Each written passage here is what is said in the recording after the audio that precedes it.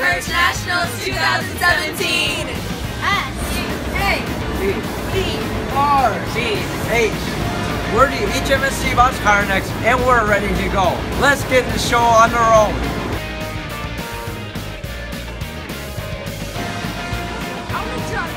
I'm Ben Bergeron, and this is Old Reliable, and Woo! I'm for the Tornadic Water Spout. Testing buoyancy on an ROV. Well, we just did some uh, final buoyancy testing. We have our weight in a good place, but we're just fixing up the camera, trying to defog it, making sure that's all in a really crisp, clear position for us to uh, hit the obstacle course at about 11:20. We're really excited to uh, take the big pool.